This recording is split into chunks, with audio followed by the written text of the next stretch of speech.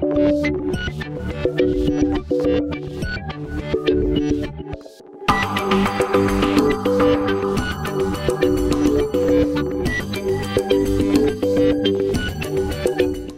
días, eh, buenas tardes ya. Vamos a dar inicio a esta segunda mesa eh, titulada Relación del Ejecutivo Federal con el Legislativo, análisis de la composición del Congreso y su relación con la sociedad.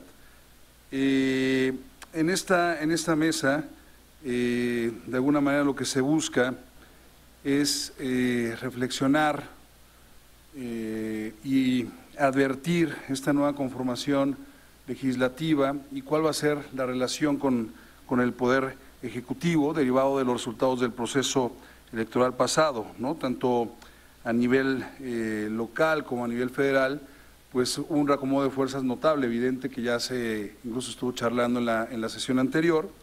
Y en ese sentido surgen varias preguntas que tal vez a modo, con independencia de lo que eh, los integrantes de esa mesa tengan a bien eh, discernir y vaya a ir disertando en, sus participaciones, que ahorita me, me permitiré eh, dar el uso de la voz y presentarlos, pero es muy interesante cómo bajo este nuevo contexto, cómo podemos pensar o qué tan viable es en la existencia de un equilibrio de poderes, cómo va a funcionar, cuál va a ser la dinámica, eh, sobre todo cuando hay una eh, presidencia fuerte, esto en el sentido de, de, Bruce Ackerman, cuando un presidente tiene la mayoría en el Congreso, claro, se favorece la dinámica, pero ¿quién va a ser el contrapeso? Y salía esta pregunta hace, hace unos instantes, ¿no? Eh, claro, puede fungir como contrapeso el, el, Poder Judicial u otros órganos constitucionales, pero en concreto en la relación ejecutivo y el legislativo, cuando hay una mayoría, e incluso en los congresos locales, ¿quién puede fungir en ese sentido, no? Otras preguntas que surgen, ¿qué va a pasar con las coaliciones electorales? ¿Se van a formalizar en coaliciones de gobierno? Figura que está eh, en la Constitución ya desde eh, la reforma eh, política pasada, pero no se había materializado, se va, va a permear, eh, se va a formalizar.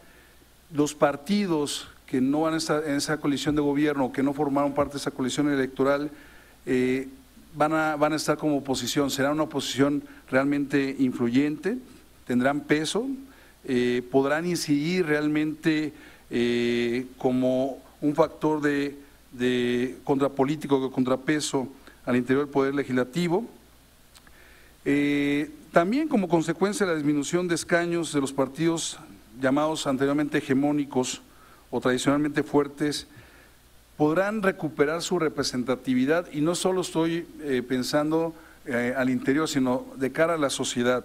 ¿sí? ¿Tienen futuro?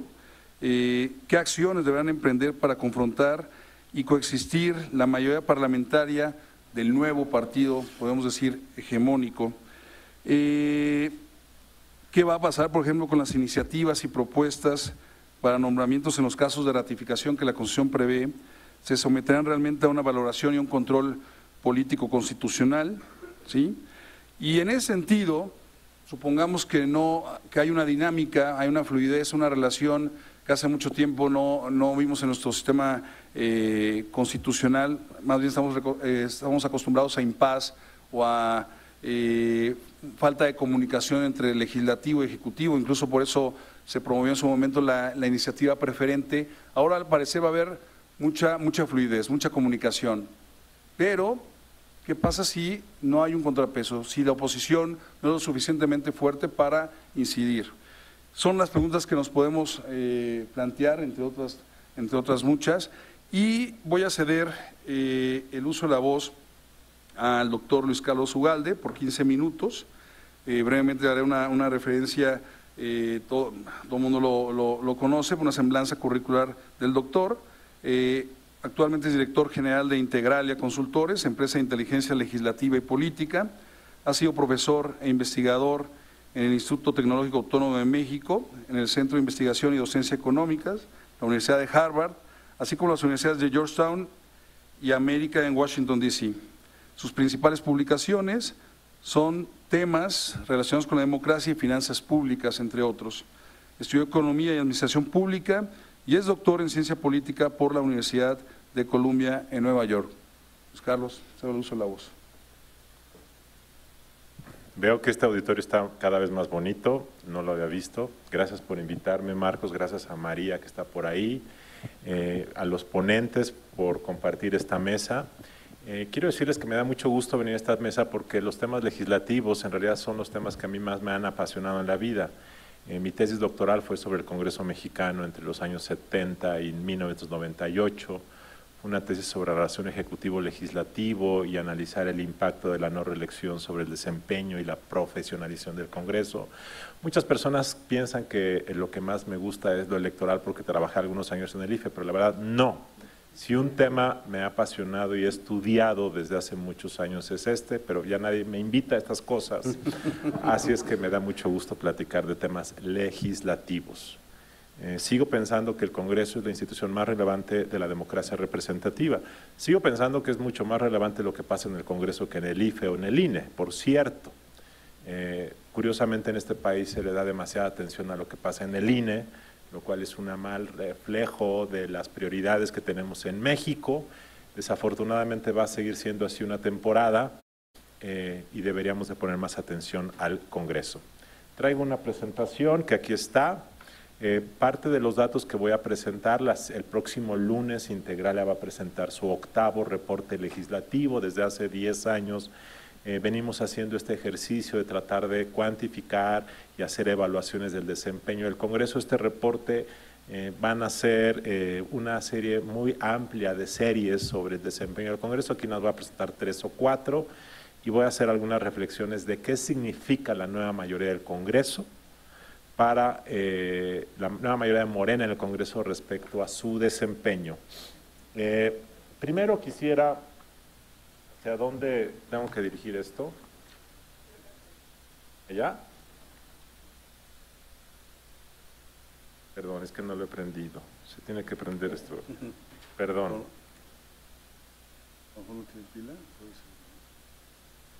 Y ya lo prendí. Perdón, tengo que voltear porque si no, no voy a leer bien. Quizá debería pararme, ¿no? Sí, debería parar. Ah, no, esto, esto tienes...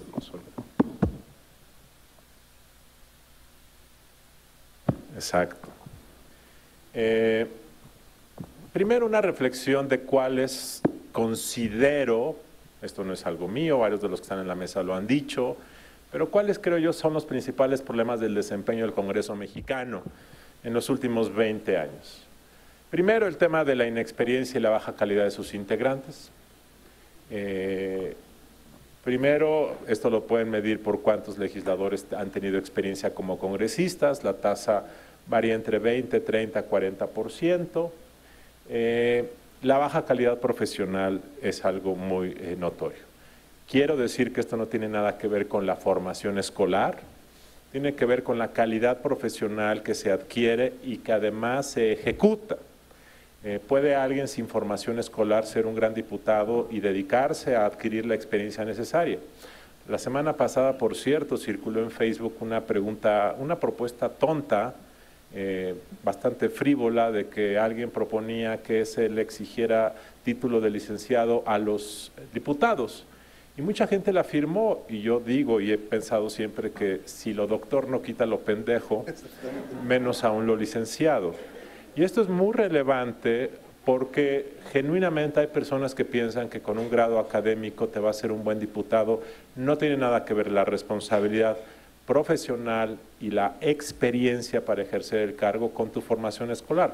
Claro, si tienes la responsabilidad política, la dedicación y además tienes un grado, qué mejor combinación, pero no debe ser una condición necesaria.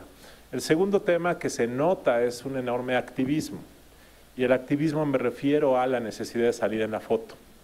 Y esto no necesariamente hace referencia a lo que debe hacer un Congreso. Un Congreso debe cumplir tres funciones principales, que es la de representar, la de legislar y la de controlar al Poder Ejecutivo. Y el activismo muchas veces tiene que ver con esta ansiedad de que solo vas a estar tres años en el cargo y por lo tanto tienes que salir en la foto para poder ser candidato a presidente municipal o a gobernador o aparecer en los medios de tu localidad. Esto no es malo en sí mismo, el problema es que el activismo legislativo en México se, eh, se traduce en que pones poca atención en tu trabajo fundamental que debe ser el trabajo en comisiones y el trabajo de control y el, el trabajo de análisis. Entonces, vamos a ver unos datos al rato, el número de presentación de iniciativas se ha multiplicado y multiplicado y multiplicado porque muchos diputados genuinamente piensan que ese es un reflejo del buen desempeño, presentar iniciativas. Hace algunos años que nosotros medimos el número de iniciativas a nivel individual y no lo medimos porque eso sea cosa buena, lo medimos porque hay que medirlo. Eh, un legislador de aquella época del Partido Verde llamado Jorge Kawashi, perdón, eh, resultó que era el que tenía más, 121 iniciativas en una legislatura. Imaginen ustedes cuántas ideas hay que tener para presentar 121 iniciativas legislativas. Algunas podían ser cambios de una fracción de un artículo de una ley, otras podían ser nuevas leyes. Eh, el hecho es que este diputado tenía a la vez el número más alto de inasistencias en esa legislatura y además se había, se había caracterizado eh, por algunos comportamientos frívolos en su vida profesional incluso individual. Eso no es tema de esto, lo único que estoy tratando de dar un ejemplo de que presentar muchas iniciativas no refleja nada más la ansiedad en ocasiones de estar activo, el uso de la tribuna, las propuestas, eh, los puntos de proposición eh, para eh, hacer llamados, para hacer convocatorias. Ese activismo viene de la mano del tema de una desatención del trabajo fundamental técnico que es el trabajo de las comisiones. Y aquí yo creo que este es el mayor problema del Congreso mexicano, que sus órganos técnicos funcionan con muchos problemas. Eh, ¿Qué problemas? Primero, la burocratización. Eh, México es eh, el segundo y el tercer país del mundo con más comisiones ordinarias en su Senado y en su Cámara de Diputados. Segundo y tercer país solamente en el número de comisiones ordinarias. Si sumáramos las comisiones especiales y las bicamerales, seguramente logramos, perdón, ¿le puedes ahí apagar? Perdón. Si le suman ustedes todas, seguramente México tendrá el, eh, gracias, tendrá el primer lugar. Tiene que ver además con el hecho de que las comisiones no cumplen con sus obligaciones de reunirse una vez al mes, de presentar informes semestrales, de presentar planes de trabajo. El próximo lunes que vamos a presentar este informe, cuando ustedes ven el cumplimiento básico de ley orgánica y de reglamento interno de las comisiones, es impresionante la desatención. Cuando ustedes ven el eh, cumplimiento de las comisiones especiales, hay comisiones especiales, bueno, hay 30 o 40 comisiones especiales. Hay comisiones especiales eh, que se reunieron para instalarse y no se volvieron a reunir. Hay comisiones especiales que contradicen su nombre porque existieron en la legislatura 61 y todas ellas se reinstalaron en la 62 de manera automática. Entonces, de especial no tiene nada. Eh, todas las comisiones especiales deben ser eh, extinguidas una vez que logran su objetivo. Todas terminan el día que termina la legislatura, de manera automática todas. Eh, si ustedes ven los traslapes, las duplicidades entre comisiones ordinarias y especiales y entre las especiales por sí mismas, es un burocratismo que, como me dijo un ex coordinador parlamentario hace unos días, es para dar títulos nobiliarios, es para dar sentido de importancia a muchos legisladores y las comisiones funcionan muy mal.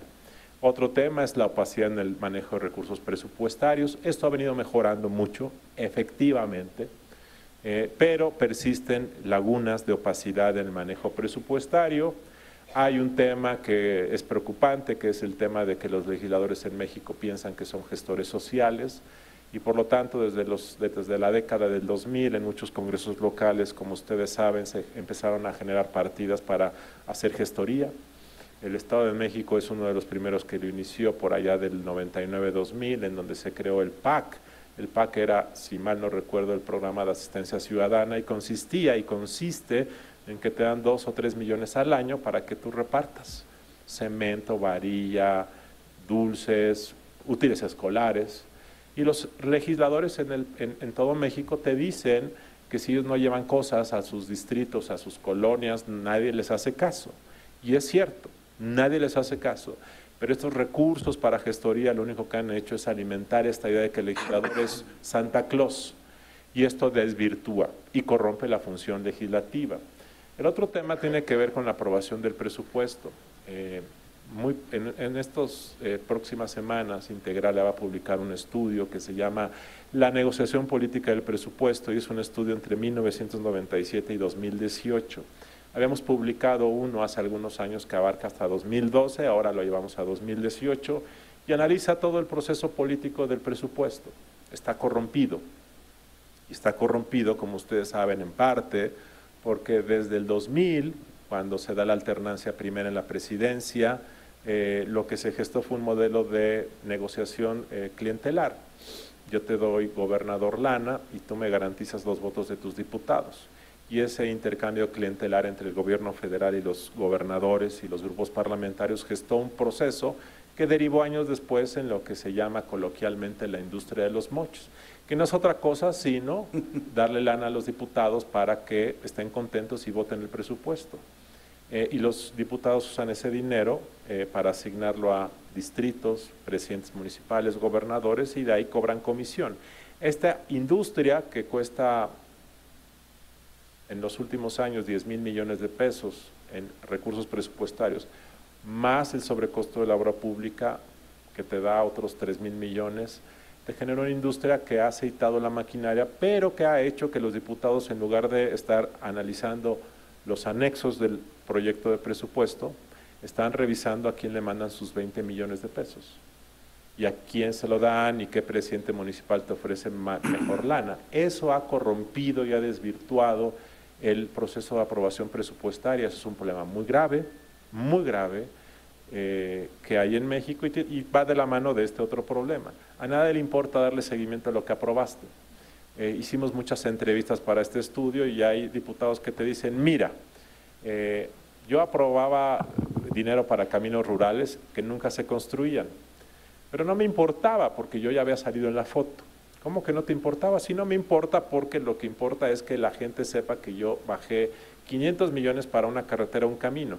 Nunca se construían porque estos caminos no, tenían no estaban registrados en la unidad de inversión de Hacienda y por lo tanto no se podían construir.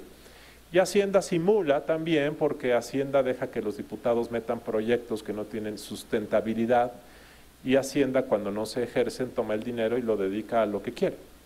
Entonces hay un gran problema muy serio en la manera como se da seguimiento al gasto público. Estos son algunos de los problemas que hemos observado en los últimos 10, 15 años. Al final voy a volver a esto. La pregunta es si la nueva composición del Congreso va a mejorar o empeorar estos fenómenos. Ahora déjenme eh, comentarles algunos datos eh, que son del próximo reporte que vamos a publicar el lunes. Eh, Aquí ustedes ven este tema que les hablaba del activismo legislativo, son las iniciativas presentadas. Vean ustedes eh, la explosión.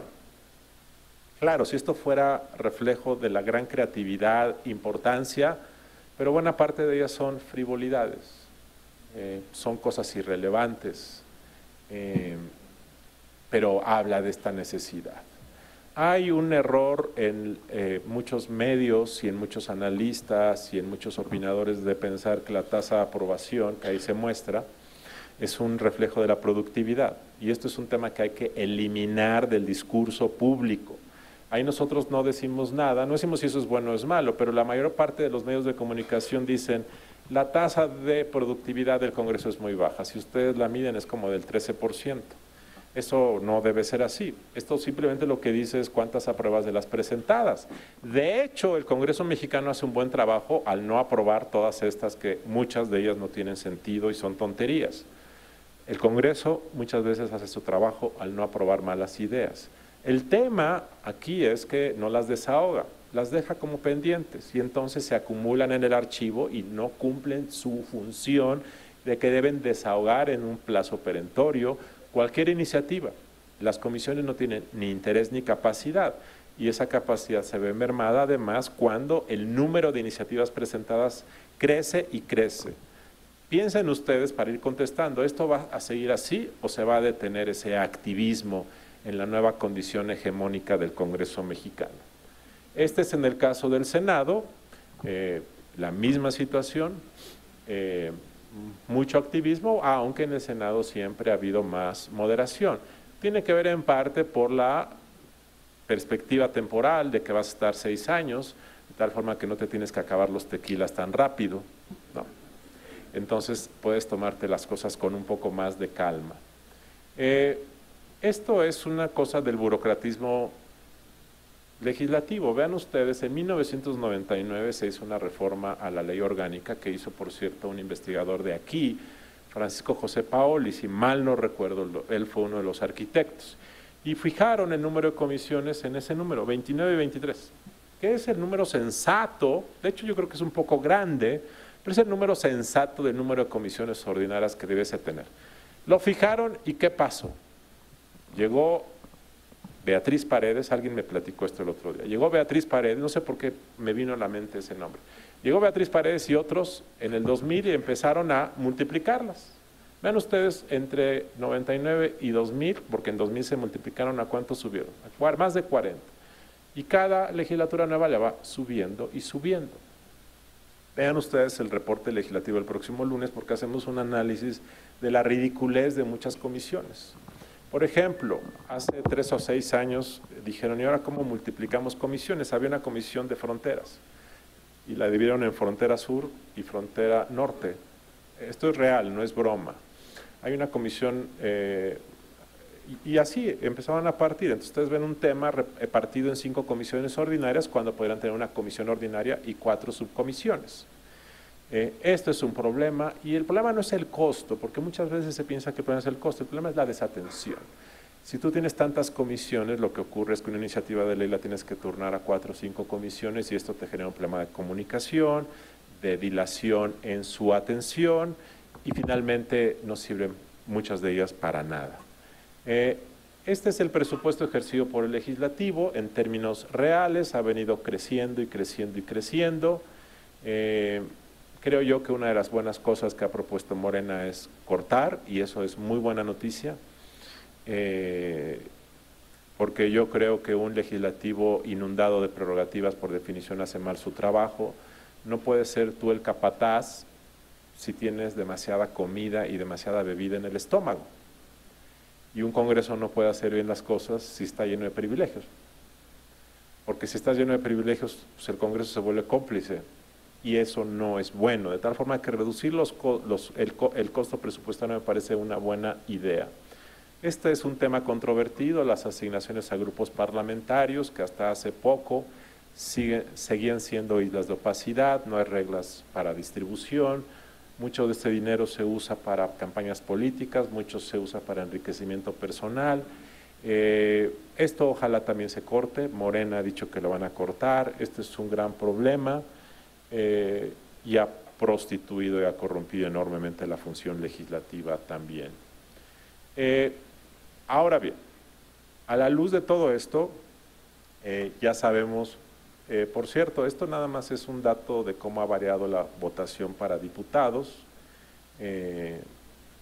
Lo, lo, pongo nada más como reflexión de la dinámica política, cómo puede afectar el funcionamiento del Congreso lo que vimos, no hay necesidad de repetirlo, es un cambio drástico en la distribución del poder político y va a significar esta distribución. Esto ya son con los datos del INE que va a votar en las próximas horas. Esto es la propuesta de la Comisión de Prerrogativas.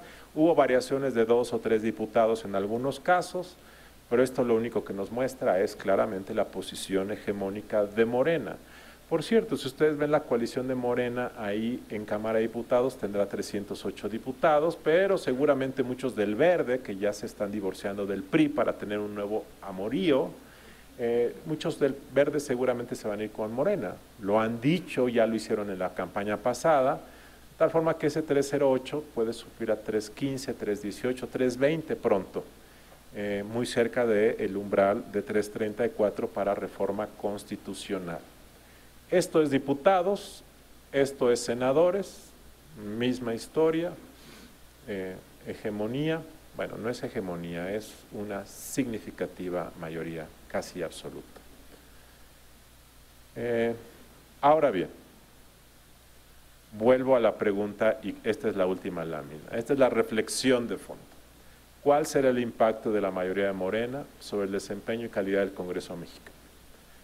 Eh, y Simplemente quiero que yo no, yo no lo voy a responder, ustedes lo, al rato lo dicen, Eh, primero, eh, eh, es probable, y esto me lo han dicho, pero hay que analizarlo, que si ustedes toman el promedio del perfil de la nueva bancada, de la nueva legislatura, y la comparan con anteriores, en este tema es probable que veamos una reducción. Hay que analizarlo, pero es lo que te comentan y es parte de la dinámica del cambio que se vio el pasado 1 de julio. esto no lo sé, es una reflexión si va a haber tanta ansiedad de subir. tomemos en cuenta que ahora ya hay reelección. Y esto a lo mejor baja la prisa, no lo sé, pero eso hay que verlo. ¿Qué va a pasar con las comisiones? Eh, seguramente va a haber un recorte de número porque hay una idea de la austeridad. Ahora, que haya menos comisiones va a hacer que las que queden funcionen mejor.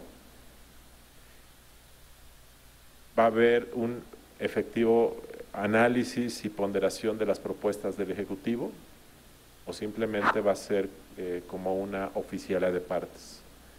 Eh, ¿Va a mejorar esto? Una cosa es que haya austeridad y otra cosa es que haya transparencia, no son lo mismo. Eh, ¿Se mantendrá este tema de la gestoría social? Alguien me ha dicho que lo que se va a hacer es que los regidores sean gestores, pero solamente ante funcionarios de gobierno, que ya no sean ellos los que llevan la torta y el refresco a las poblaciones.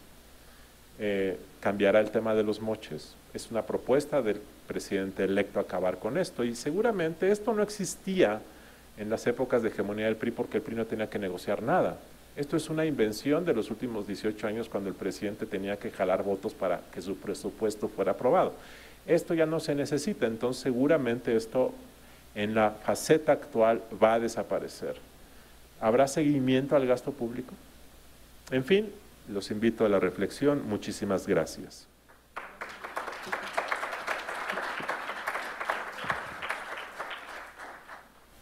Muchísimas gracias, doctor. Eh, efectivamente, estas eh, preguntas que nos deja al final para analizar eh, será relevante ver o dar seguimiento si va a seguir esta, esta dinámica, estos vicios, eh, si se van a transformar, se van a desaparecer. Eh, pero hay temas que, resalto rapidísimo de, su intervención. Es, alarmante el incremento de, ese activismo, ¿no? esa presentación de iniciativas que usted refería como frívolas y, que son poco trascendentales. ¿no? A lo mejor habrá que, que ver cómo se comporta un Congreso con una mayoría, a lo mejor hay eh, menos iniciativas eh, huecas o sin sentido y a lo mejor hay, hay, iniciativas sólidas. El tema de la burocratización al interior del Congreso creo que ya no responde a esta política de austeridad que se quiere implementar, ¿no? y ah, lo hace poco funcional, lo hace demasiado lento. Y el tema de la, de la gestión eh, administrativa, esa, esa atribución no, no, formal que tienen ya los legisladores, que que bueno, pues desvirtúa la función parlamentaria, pero eh, promueve el clientelismo, ¿no? Y, de alguna manera también eh, las relaciones viciadas entre, entre partidos. Muchas gracias, doctor, por su intervención. Y ahora eh, tengo el gusto de ceder uso la voz a la doctora Carla Huerta, quien es investigadora de tiempo completo aquí en el Instituto de Investigaciones Jurídicas de la UNAM. Realizó eh, una investigación postdoctoral sobre conflictos normativos en la Universidad de Kiel, Alemania. Eh, sus principales líneas de investigación tienen que ver eh, con la filosofía del derecho, la teoría del derecho, el derecho constitucional, la justicia administrativa y el derecho ambiental. Estudió Derecho en el ITAM y es doctora por la Universidad Autónoma de Madrid. Doctora Carla, por favor. Tienes hasta 15 minutos, por favor, gracias. Sí si no, pido, pido asistencia, ¿sí? Me controlas, gracias. Eh, es difícil hablar de, un tema como este sin, tratar, sin excederse en el tiempo, trataré de ser breve y voy a hacer un enfoque exclusivamente desde el punto de vista del derecho. Eh, muchas de las cuestiones que ya fueron mencionadas eh, en la primera intervención van a ser tocadas de nuevo, pero lo voy a hacer tocando tres puntos específicos. A mí lo que me interesa es los sistemas de control, que es donde entra la pregunta de los contrapesos, sobre todo control jurídico, el que está regulado en la Constitución. Otra cuestión es esta desvinculación que se produce, o la relación que quiero ver es la del electorado con el poder legislativo. Y finalmente, más que las mayorías a partir del nuevo escenario, a mí me preocupan las minorías. Este, quizás esa es la parte más interesante, y, pero va a ser la última que voy a tratar. Eh, son, como decía, demasiados los aspectos a abordar. Y aquí lo que yo quisiera es empezar por pensar en esta relación entre el Ejecutivo y el Legislativo, en que en la Constitución existe un diseño para controlar eh, el ejercicio del poder mediante la distribución de funciones y los frenos y contrapesos que se, realizan en la medida que hacen funciones compartidas o coordinadas, cómo se pierde o se difumina todo este control jurídico en la medida que existe una mayoría determinante en, en, el propio Congreso, como ocurría hace 20 años. Es decir, el escenario regresa en un sentido distinto a una mayoría en que las decisiones del Ejecutivo en términos legislativos son, serán acatadas o digamos no tendrán problema o mucha barrera para darle continuidad en el diseño de leyes y propuesta de reformas o adiciones.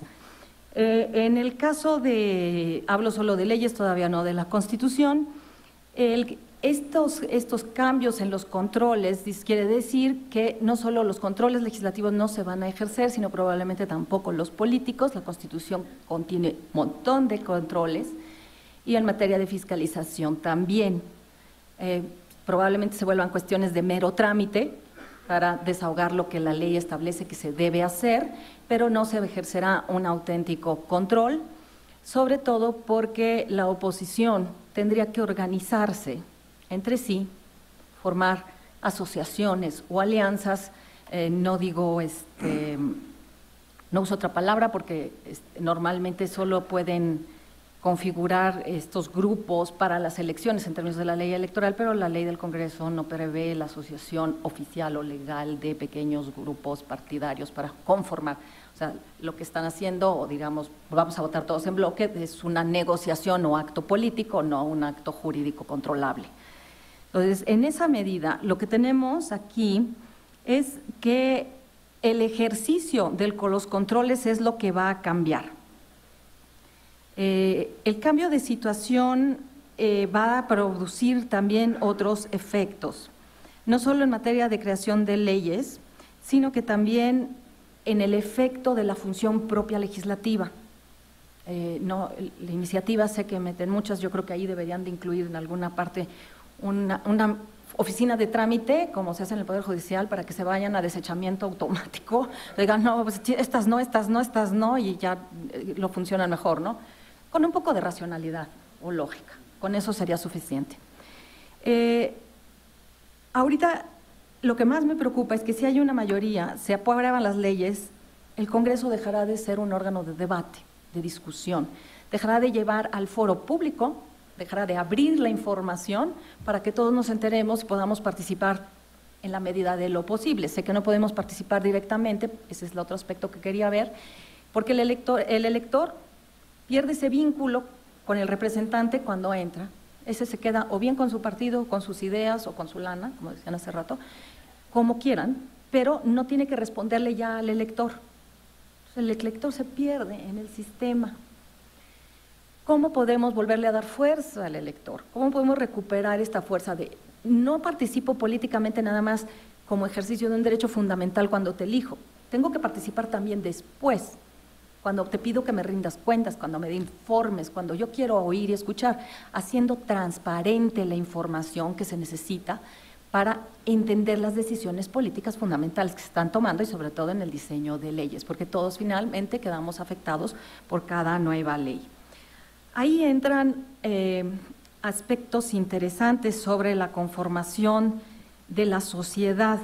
¿Quién va ahora a realizar esos contrapesos? El problema de las minorías a mí me preocupa, si vieron que podíamos usar otra vez el mismo cuadro que presentó Luis Carlos, es muy claro que nadie tiene una minoría relevante, es decir, nadie cuenta con el 33%, excepto Morena, que no lo va a hacer para impugnar la constitucionalidad en acción de constitucionalidad, es decir, el control judicial de la ley, que es este contrapeso donde actúa la Suprema Corte, nadie lo tiene per se. Entonces, emiten una ley y se puede ir, y si no se organizan y conforman algún tipo de asociación, no va a ser posible impugnar la inconstitucionalidad de leyes. Entonces, el escenario se nos presenta espantoso, porque no es la relación nada más de controles entre el Ejecutivo y el Legislativo que son irrelevantes porque no se van a querer controlar el uno al otro, no les interesa ejercer esos controles, sino que el único control que realmente contrapesa y nos defiende en términos de constitucionalidad probablemente no sea viable. Entonces, en esa medida tenemos un problema. La oposición va a ser oposición desagregada, individual, cada quien con sus intereses, entonces no puede operar conjuntamente.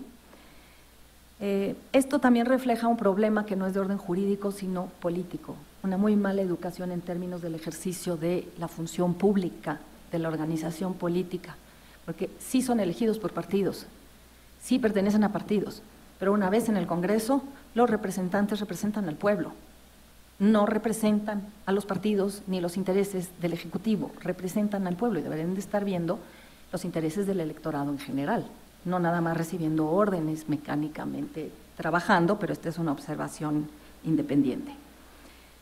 ¿Qué es lo que pensamos que va a pasar o que podría pasar? Si la sociedad va a tener que entrar a opinar, a tratar de participar, algunos medios legales y los otros tendrán que ser, digamos, eh, no ilegales, pero no legales, sino simplemente sociales, van a tener que entrar a opinar.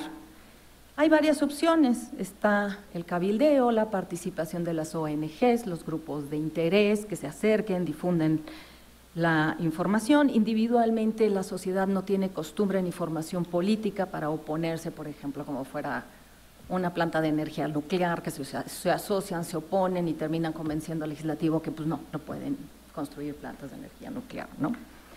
Eh, la otra es, aspecto que es importante son los medios de comunicación, los nuevos medios alternos, estos que fluyen rápido con la información que podemos ver. Tienen su lado positivo y su lado negativo, que es la desinformación, porque a veces nos llegan mentiras, nos llegan cuentos, nos llegan memes muy divertidos, pero no necesariamente nos resuelve el problema. Pero a través de esa información podemos darle transparencia al problema de lo que va a ocurrir dentro del legislativo, cómo va a funcionar, qué carácter va a tomar. De entrada, me parece que va a dejar de ser escenario de la discusión pública. ¿Sí? Va a ser más así como un pleito de comadres. Eh, pero a unas comadres no les van a hacer mucho caso, a las otras las van a ignorar directamente. Eh, ¿Qué otras cosas puedo observar que podría ser importante eh, compartir con ustedes? El cabildeo es una actividad creciente que tiene o mala fama, quizás porque no lo entendemos bien o porque no está regulado, pero podría ser un buen cauce si estuviera regulado, por ejemplo, incluso en la ley orgánica del Congreso, donde pusieran, se tienen que inscribir estos y hacer la, la pública, la información que nos presentan, los estudios que traen, etcétera, etcétera. Y eso lo cual implica volver a, revisar la ley orgánica, que de paso, con lo de las comisiones, se podría incluir y considerar para poderle dar al electorado, a la sociedad, un camino para acercarse al poder legislativo regulado y que sea transparente y abierto, porque la mala fama de estas actividades viene de la idea de que todo se funciona a partir de momentos de corrupción, de actos de corrupción que por supuesto existen, como ya nos dijimos, pero es lo que tenemos que evitar. Esta, eh, este tipo de actividades la debemos de ver como una forma alterna de interlocución ¿no? entre los grupos de poder, los grupos de interés, la sociedad, que influyen en las decisiones. Digamos, son formas de participación que podríamos llamar ciudadana y no ciudadana, porque no está ser ciudadano para comunicarte con los órganos de comer, y que les permite participar en la toma de decisiones. Eh, el debate público ayuda a traer más información, más transparencia, y así el ciudadano puede incidir en decisiones públicas. Pregunta eh, que, se que se presentaría es cómo hacerlo transparente y controlable. Desde mi mentalidad, por supuesto, estoy pensando en una regulación, pero una regulación pequeña, porque a mayor regulación, más restricción. Entonces sería nada más como decir un registro y este, cómo deben de presentar sus informaciones y cómo se turnarán a la comisión respectiva. No sobre regular, porque la regulación es algo que siempre nos está convirtiendo en barreras para la acción. Eh, de esta manera podríamos tener grupos que incidan en las decisiones públicas de manera transparente y legal. Legal. Eso no, hay ilegal, pero no. Entonces, tenemos que ver esta forma de acceso como una posibilidad de influir.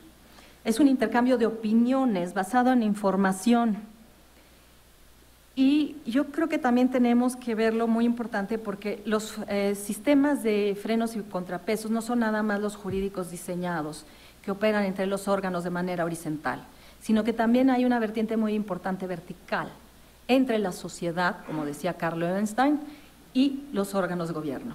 La sociedad mexicana tiene que ser más participativa, tiene que estar mejor enterada, mejor preparada. Por supuesto, eso no quiere decir que nos redacten las cosas en términos imposibles. La información también tiene que ser clara y accesible para todo el público, porque todo el electorado tiene que tener la posibilidad de participar y de exponer sus problemas o sus necesidades. Finalmente quisiera decir que son tantas las cuestiones que están aquí que preparé una ponencia que no pude ni acercarme ni a la fase de presentación.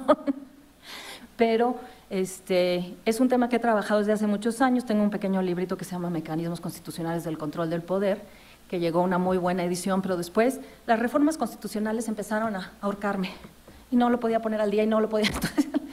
en esas estoy, espero que pronto lo logremos y que el nuevo equilibrio de poderes o el cambio de personas en el poder permita no cambiar tanto la Constitución, sino aplicarla, que es algo que he pedido yo ya desde hace mucho tiempo, dejemos de cambiarla, apliquémosla y entendámosla.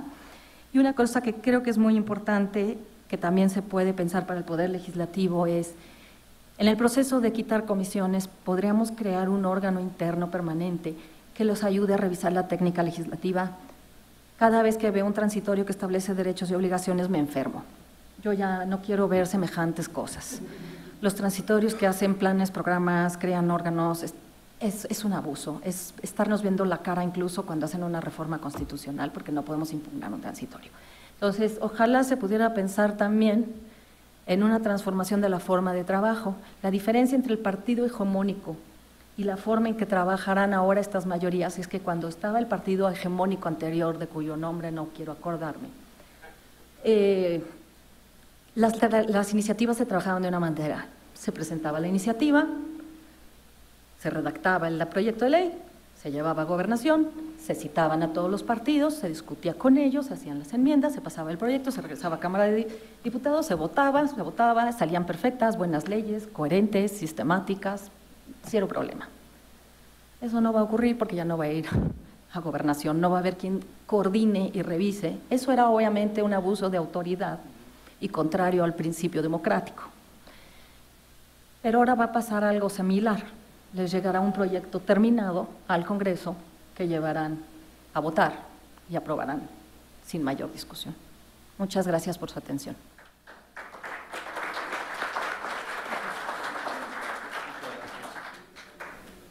Muchas gracias, doctora. Efectivamente, eh, en su intervención eh, hace varias reflexiones que, son importantes de tenernos para, pensarlas, ¿no? Eh, ¿Qué va a pasar efectivamente con, las minorías?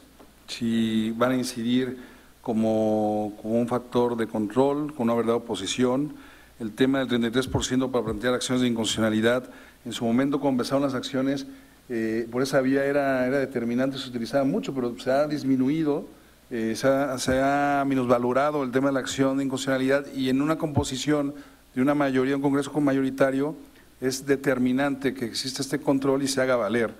Eh, también me llamó mucho la atención el tema de la reconfiguración, reconfiguración o relanzar nuevamente o repensar los controles de poder a nivel constitucional. Nos hemos enfocado mucho en los controles jurisdiccionales, pero se ha abandonado y entiendo a la doctora Carla que dice con esas reformas, las reformas, bueno, no ha habido tiempo para, pensar, pero yo creo que eh, en ese nuevo contexto los controles interorgánicos van a ser determinantes, no solamente a nivel eh, horizontal, sino vertical. No es el tema de la mesa, pero también eh, qué pasa las relaciones estados con la, con la federación. Pero sí es necesario eh, nuevamente pensar cómo fortalecer a los controles políticos, a los controles de poder en el plano constitucional y no solamente detenernos en los controles jurisdiccionales de constitucionalidad, que son importantes, pero tienen otra, otra función. Y, y algo que me llamó mucho la atención, doctora, es el tema de ¿Sea espacio de qué? De deliberación, realmente va a haber un espacio de deliberación cuando hay una, una, mayoría, eh, cuando hay eh, un control por parte de un, de, no solamente un partido, sino una coalición parlamentaria, eh, o qué tipo de deliberación se va a tener, ¿no? cuál va a ser el alcance o la calidad de la misma.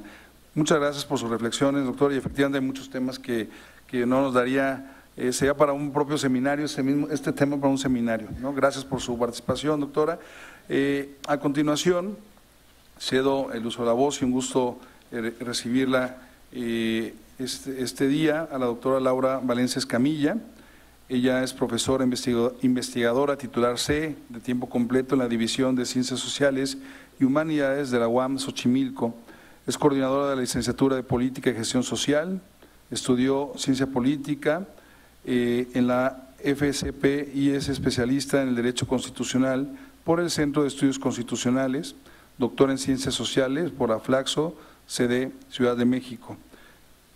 Eh, miembro del Sistema Nacional de Investigadores, del CONACID, y es autora de diversos libros y artículos especializados en materia legislativa y democracia representativa. Doctora, tiene el uso de la voz hasta por 15 minutos. Muchas gracias.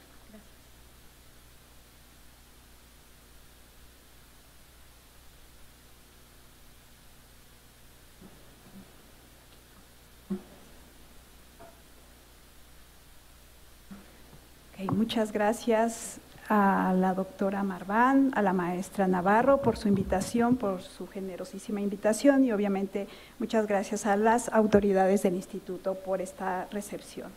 La temática es muy importante, precisamente las preguntas que se hacen para esta mesa son muy importantes en, tanto que en, este sentido ya se habló más o menos cómo quedarían integrados los... Eh, grupos parlamentarios, eh, pero mi perspectiva es un poco más optimista.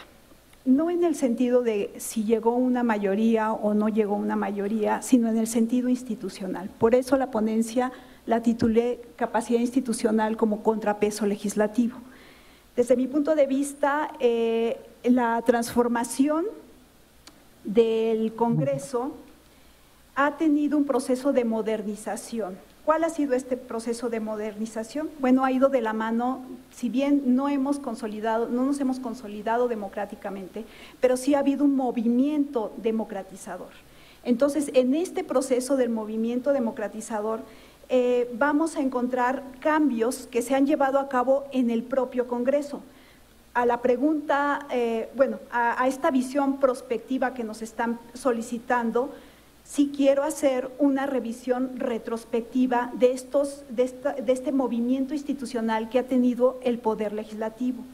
Si bien es cierto, estoy totalmente de acuerdo con todas las críticas que se han hecho en los medios y aquí los colegas eh, eh, que han eh, mencionado todas estas críticas al Congreso, sin lugar a dudas están allí, sin lugar a dudas son, son la base para, para, para tener de nuestro Congreso uno de los de una de las instituciones con más baja confianza a nivel de la opinión de los mexicanos, sin lugar a dudas, en eso estoy totalmente de acuerdo. Sin embargo, debemos decir que eh, el proceso de modernización estatal también ha afectado al Poder Legislativo y esto, eh, eh, aunado a este proceso de consolidación democrática, ha redefinido su papel y lo ha llevado hacia otras circunstancias. ¿Cuáles son estas, estas circunstancias?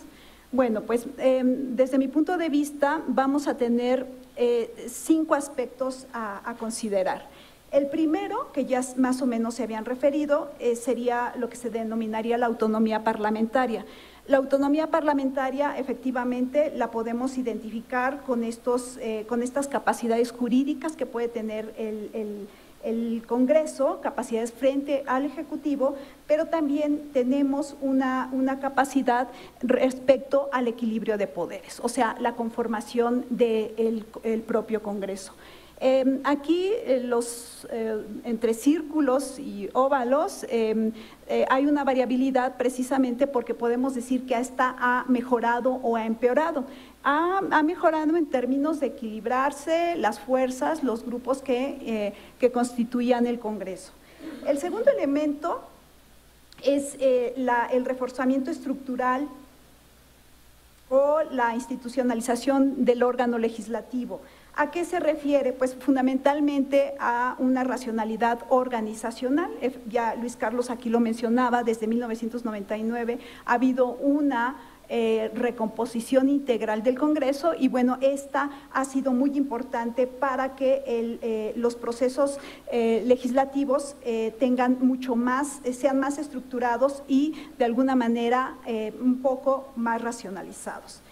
Eh, el otro elemento eh, son los procesos de la función pública. Pareciera ser que el Congreso nada tiene que ver con políticas públicas. Bueno, lo tiene que ver todo, porque ahí es precisamente en, el ámbito. Entonces, eh, decía, ¿dónde la función pública tiene un tiene varios elementos. Primero, si bien es cierto, como también aquí se había comentado, la gestión es el papel del Congreso. Sin embargo, el tener un presupuesto e incluso tener un área, un comité para la gestión ciudadana, pues ya le da una importancia fundamental a ese ámbito de la gestión. La agenda, evidentemente, a partir de 2006 ya es obligatorio tener una agenda legislativa. Imagínense, antes de 2006 no existía esa obligatoriedad para establecer una agenda legislativa. Hoy por lo menos ya conocemos conocemos cuál es la propuesta de los eh, partidos para, eh, para fungir en el Congreso. Y eh, por dos elementos más que desde mi punto de vista son los que mm, tienen menor evolución, digámoslo así. Uno es la relación que existe entre representación y participación ciudadana a partir de mecanismos institucionales que se han ido introduciendo en el propio Congreso. ¿Cuáles son estos? Bueno, referéndum, plebiscito, la iniciativa popular, que bueno, si bien es cierto, no ha entrado en funciones en su totalidad, pero por lo menos normativamente están establecidos. Y por último, eh, eh, tenemos los sistemas de intervención y control ciudadano a través de los monitoreos, la transparencia, la rendición de cuentas, eh, consulta pública, y la apertura de comisiones a la participación ciudadana. Les decía, los círculos y, y, esto va en función de cómo se ha venido llevando a cabo. estos dos últimos, bueno, creo que son los que menos se han desarrollado.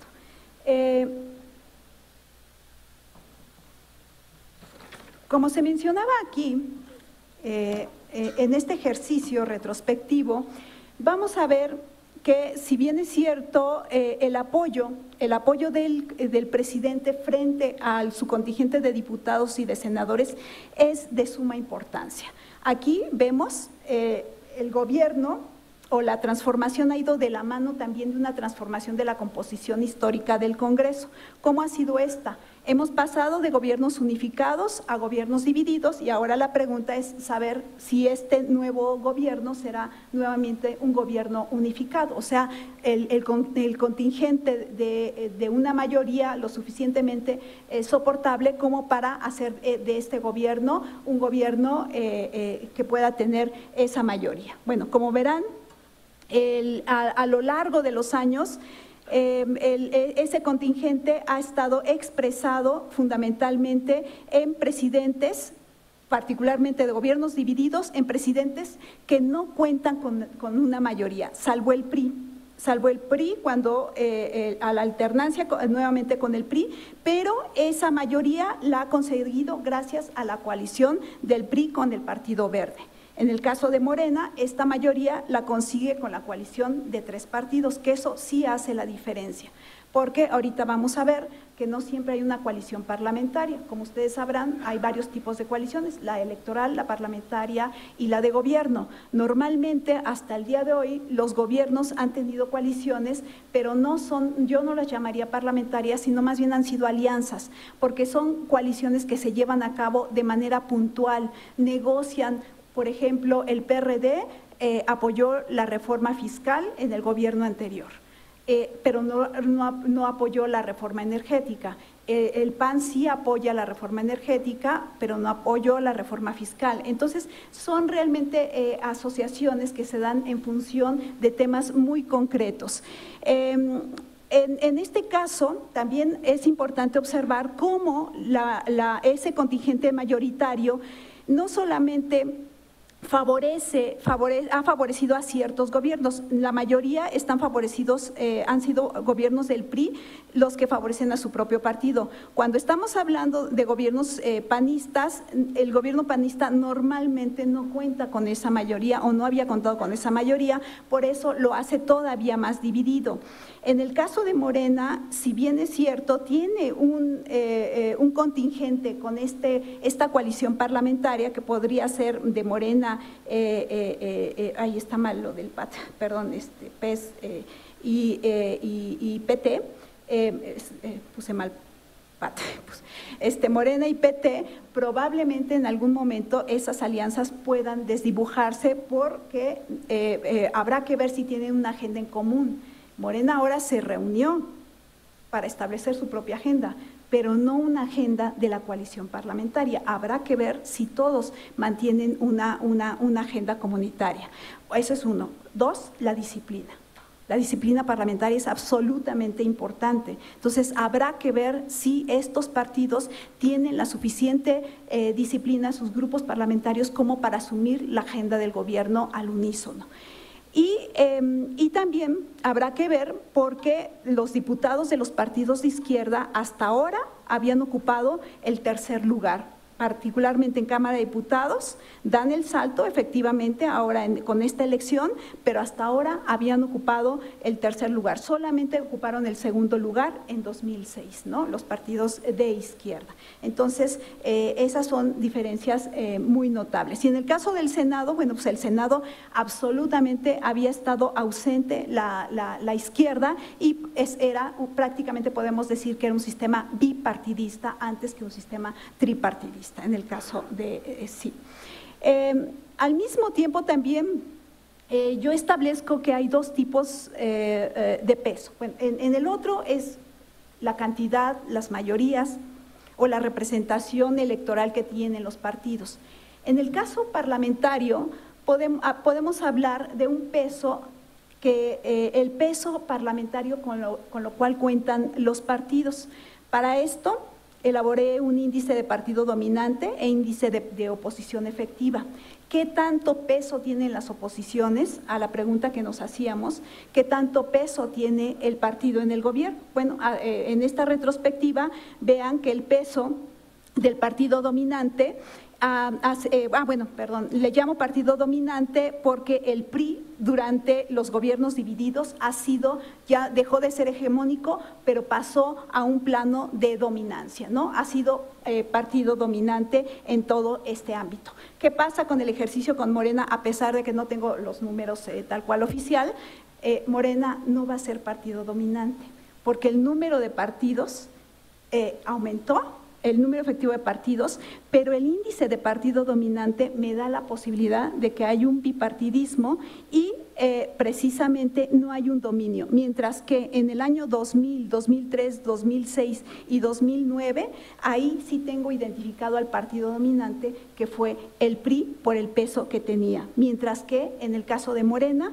eh, si bien es cierto, sí tiene esta mayoría, pero no tiene una dominancia porque, insisto, no es Morena y, toda esa mayoría, sino que hay una división de esos partidos, habrá que ver si hay una agenda legislativa en común, habrá que ver si hay una disciplina en común, habrá que ver si estos partidos eh, se mantienen al unísono, sobre todo cuando hablemos de presupuesto, porque ya ven que con esto de la austeridad republicana que está anunciando Morena, habrá que ver si también PT y PES con eh, la posibilidad de que pierdan registro, con la posibilidad de que pierdan eh, muchas de las prerrogativas presupuestales, se sumen a esta, a esta situación.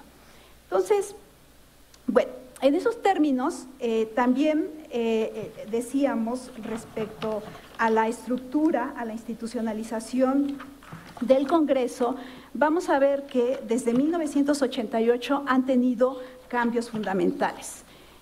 algunos autores hablan de que los congresos en procesos de democratización tienen transformaciones. Entonces, estamos eh, eh, y bueno, yo incluía algunos elementos, aprobación automática, emergentes, informadas y transformadas.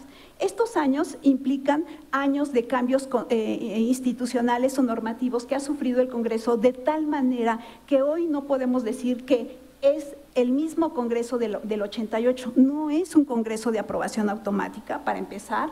En segundo término, hoy día tampoco es un Congreso absolutamente obstructivo. Perdón.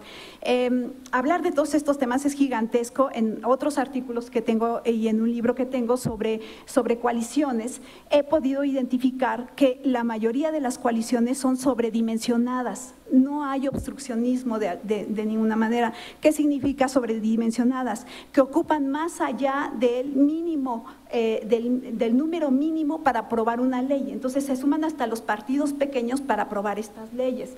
Eh, eh, de alguna manera es constructiva por lo que yo les había comentado. 2006, por ejemplo, ya es obligatorio establecer una agenda legislativa. Eh, ya aquí se mencionaba el, cabildeo como, regla, como ya el cabildeo está reglamentado. Hoy día podemos acceder a los ámbitos de Internet para identificar quiénes son estos cabildeadores. Uno pensaría efectivamente, estoy de acuerdo con, con la colega, de que lo vemos de manera negativa. Hay muchos cabildeadores que no necesariamente son empresas ni empresarios. Muchos de ellos son sociedad civil y la utilizan para ejercer o, tomar influencia dentro del propio Congreso. ¿no? Eh, entonces, eh, lo que, digamos, en esta línea de tiempo, lo que estoy observando es una transformación del propio Congreso, pero al mismo tiempo eh, estoy, insisto, como lo dije en un inicio, estoy totalmente de acuerdo que esta transformación ha sido inconclusa. A veces nuevamente se va hacia atrás, pero sin embargo eh, puedo decir que no es el mismo Congreso con el cual estamos eh, eh, pensando. respecto a, la, respecto a, las iniciativas, sí es importante ver el número, es gigantesco, pero yo creo que aquí lo que nos interesa más que el número, nos interesa ver cuáles son las aprobadas. El, el AP son las iniciativas aprobadas. Vean que en, referencia a los partidos y al Ejecutivo, en, la relación de contrapesos, bueno, el Ejecutivo ha disminuido el número de iniciativas las que han sido aprobadas. ¿Quién ha tomado ese papel? Los partidos políticos. Aquí también, pese a que ha habido partidos eh, que representativamente son menores, el peso del partido es fundamental en el número de iniciativas que le han aprobado. Incluso Morena, vean, en, el, en el trienio pasado en la Cámara de Diputados, vemos como Morena, de 413 iniciativas que presentó, 28 le fueron aprobadas. Entonces, quiere decir que no necesariamente hay, eh, eh, eh, digamos, digamos, hay iniciativas estoy totalmente de acuerdo eh, eh, con Luis Carlos de que hay iniciativas que pues, eh, son em, risibles, que no tienen razón de ser, pero cuando los grupos parlamentarios acuerdan una agenda y esa agenda es negociada con otros grupos políticos, estos llegan a tener éxito. ¿no? Entonces, em, en, en 2015 y 2018, el PRD, por ejemplo, tuvo 67 aprobadas, Movimiento Ciudadano 66, hasta estos pequeños partidos han tenido un, peso relativo y bueno, el, PT no. Eh, pero eh, el PAN 125. Entonces, sí tienen peso esas oposiciones y sí tienen eh, razón de ser la propia oposición.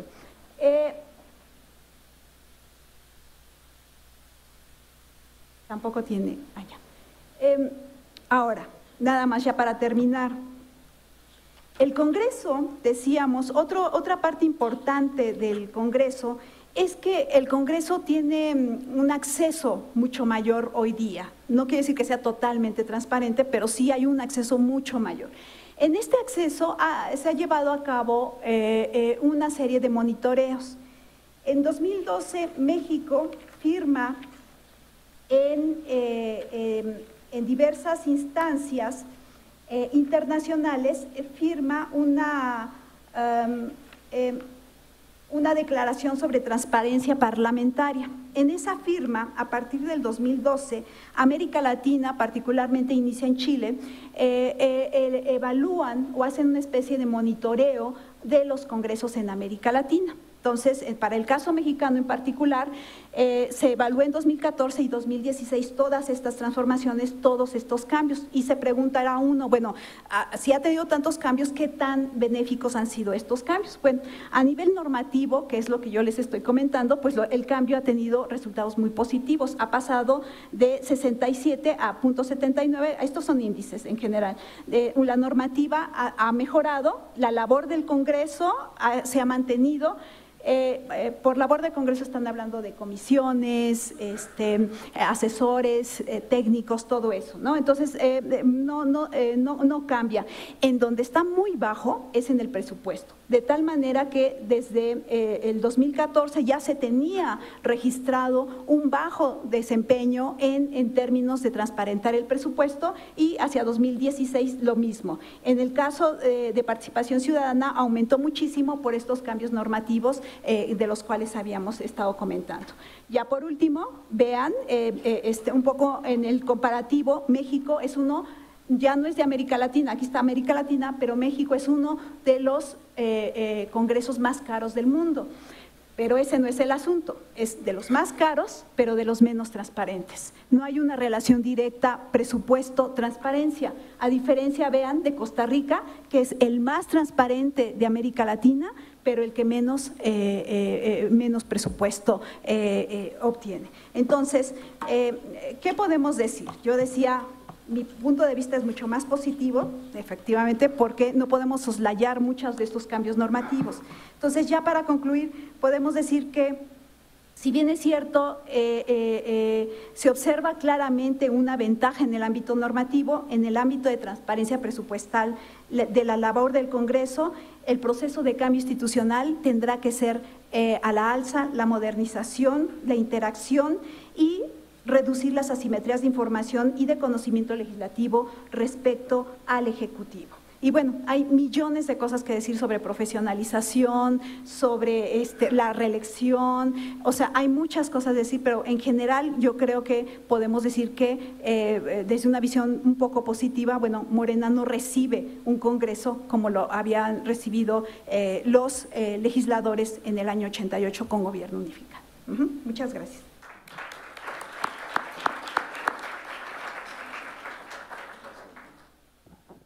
Muchas gracias a la doctora Laura Valencia Escamilla. Efectivamente, eh, hay una, una, conexión con lo que se ha venido eh, y diciendo en, las eh, ponencias anteriores en cuanto a, que se requiere una, una, reducción, una modificación del presupuesto. El, doctor Ugalde hablaba de, pues esta, eh, ese incremento que ha venido dándose en, las últimas legislaturas eh, del aparato eh, administrativo interno, por decirlo de alguna manera. Bueno, pero no solamente eh, hay una problemática en cuanto al costo que tiene el Congreso, sino a que es poco productivo, poco eficiente y poco transparente. ¿no? la, doctora Huerta Cerrato hacía referencia a los controles democráticos, los controles ciudadanos, que a lo mejor hoy más que nunca se requiere eh, que pensemos cómo los ciudadanos podemos exigir una rendición de cuenta efectiva. Eh, sobre todo, no porque no vaya a existir controles adecuados, pero planteamos esto desde el inicio de, la mesa, si, qué va a pasar con los controles eh, entre órganos de poder, qué va a pasar con los contrapesos cuando hay una mayoría en un Congreso o una coalición que puede trabajar armónicamente, eso es muy bueno con el Ejecutivo, pero qué va a pasar, quién va a dar seguimiento eh, puntual. ¿Podrá haber existido un contrapeso? Tal vez sí, tal vez no, pero ahí es cuando los controles democráticos, los controles ciudadanos se vuelven importantes para exigir transparencia, eh, rendición de cuentas efectiva de qué se está haciendo, cómo se está gastando, en fin. Yo creo que tiene que haber ahí una, una armonización entre todos estos elementos y eh, pues sí, usted plantea ahí una, hace una referencia de este nuevo reto para, para Morena y los, los partidos que ahora van a entregar una una para empezar vamos a ver si hay una coalición formal, ¿no? Este, pero una vez si se da esta, ¿cómo se van a comportar? Porque de alguna manera no es una, una primera experiencia como, como grupo dominante, por decirlo de alguna manera, a nivel parlamentario. Vamos a ver qué, qué disciplina parlamentaria existe para seguir una agenda parlamentaria, en fin. Eh, muchas gracias, doctora, por sus aportaciones, le agradezco. Y eh, cedo finalmente, para concluir eh, con las exposiciones de esta mesa el día de, hoy, esta segunda mesa, eh, a Fernando Dorac Camargo. Él es analista y consultor político, experto en temas legislativos, ha sido profesor en el ITAM, entre otras instituciones académicas nacionales. Entre sus temas de estudio e interés se encuentran la reelección, la agenda legislativa, cabildeo, sobre los que ha publicado y sigue publicando en medios especializados. Estudió ciencia política, es maestro en estudios legislativos por la Universidad de Hull en Reino Unido. Eh, antes de ceder uso la voz a, Fernando, les comento que ya se van a circular ahorita las papeletas para que puedan plantear las preguntas respectivas.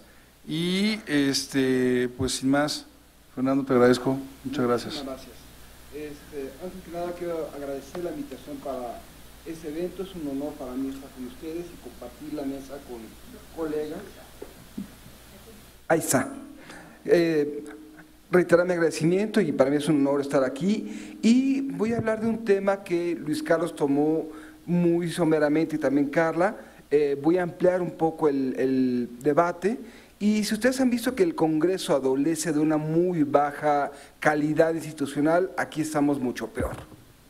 Este, también vamos a hablar, quiero hablar primero sobre el tema, que es el cabildeo, cómo se regula y por qué se regula, cómo está México eh, en cuanto a sus estándares y qué esperar, eh, qué esperar durante la próxima legislatura. En primer lugar, el cabildeo es una actividad para mí mucho más relevante para incidir en la agenda pública de lo que sería, por ejemplo, hacer una iniciativa ciudadana. Es decir, vamos a entender por el cabildeo todas las actividades que los grupos de presión, un grupo de presión es un grupo de interés con, con eh, al, cual tiene la, tiene la necesidad de incidir en la agenda pública, y esos grupos de presión van a realizar cabildeo, ya sea por sí mismos o a través de intermediarios, para influir en la toma de decisiones. Gran parte de esta actividad consiste en acumular información útil y encontrar maneras de canalizarla a quienes puedan tomar las decisiones. ¿Qué significa? Un grupo de interés elabora una estrategia de influencia que implica tener clara su causa, implica naturalmente conocer a los legisladores relevantes y tener un sentido del tiempo para presentar, para, para intervenir. Y obviamente eso, eso, eso es lo que se entiende como cabildeo. Puede realizarlo una empresa, sí, pero Creo que cualquier grupo de interés, sea empresa, sea sindicato, sea agrupación de profesionales o grupos de base, a mi modo de ver, este, deberían estar incluso obligados a conocer los procesos básicos. Eh, el cabildeo naturalmente se da fundamentalmente a través de comisiones legislativas y de manera comparada tiene efectos positivos y tiene efectos negativos. ¿Cuáles son los efectos positivos? Bueno, para los grupos de interés, naturalmente estamos hablando de ejercer influencia. El ejercicio de esa influencia no tiene que ver necesariamente con la aprobación. Muchas veces el diagnóstico, muchas veces la construcción de escenarios va sobre generar mayor, mayor percepción sobre un tema o tratar de cambiar cierto tipo de equilibrios. Segundo, exposición, no solamente esa, esa recompensa, y obviamente la Evidencia comparada también muestra que muchos de los satisfactores de los grupos de interés no es necesariamente la aprobación, sino beneficios simbólicos. Le hace para aclimatarlo a México grilla.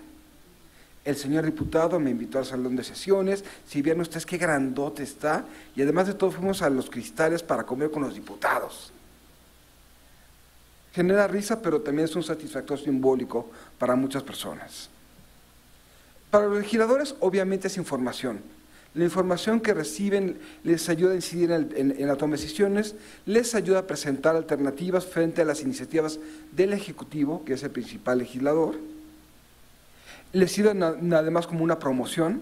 Obviamente no hablamos solamente del el extremo que es el activismo legislativo, como, como bien señaló Luis Carlos, sino que también les da una cierta exposición como campeones de un tema como personas que se posicionan como los portavoces de un grupo de interés para, para una, agenda, una agenda determinada.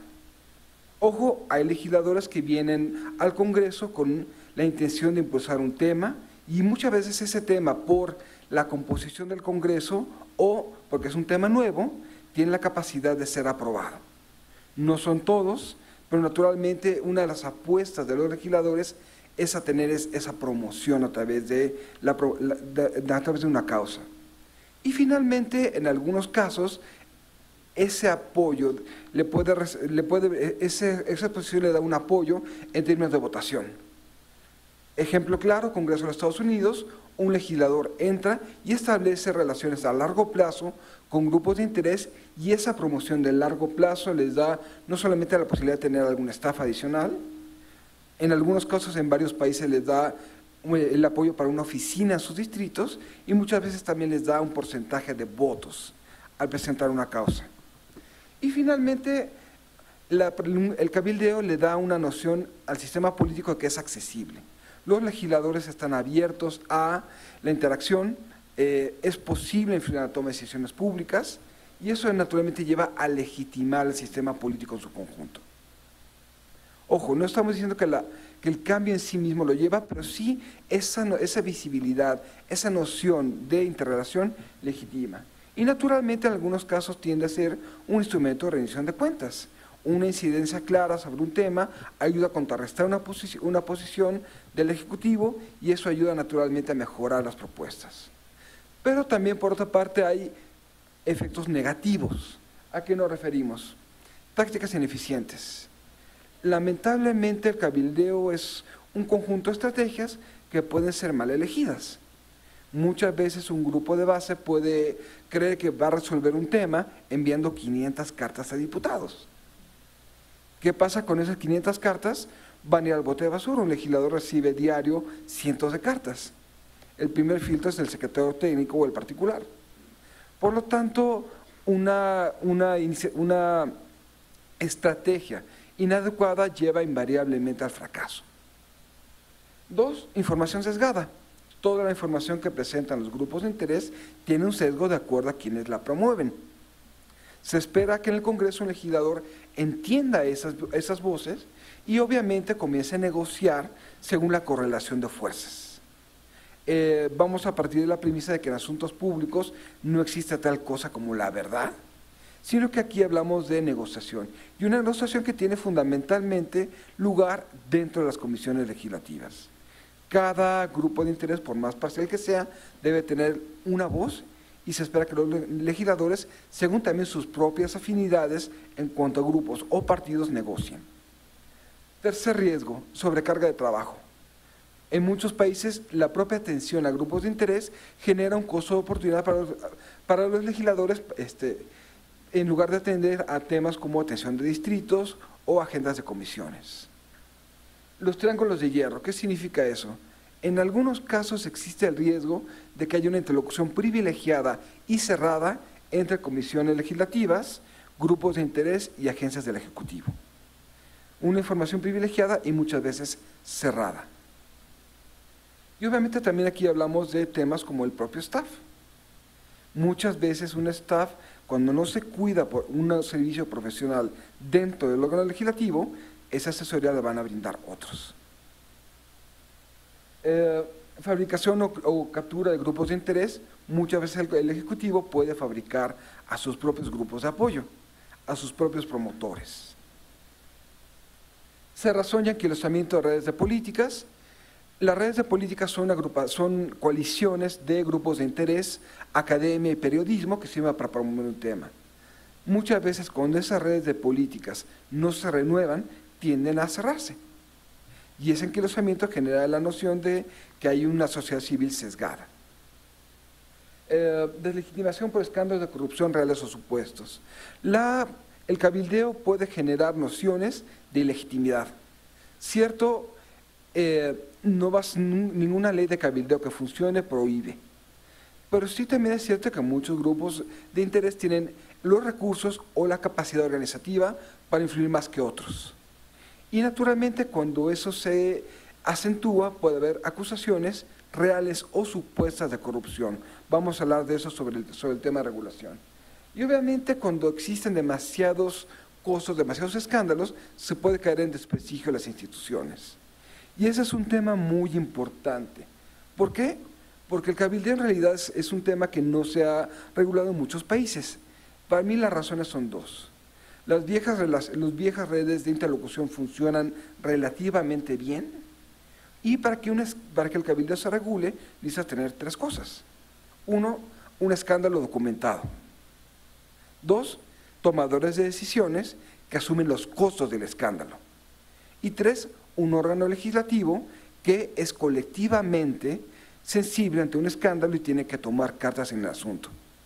Eh, hay, una, expresión estadounidense que sirve para ilustrar esto, esto, no la voy a traducir, la voy a reproducir.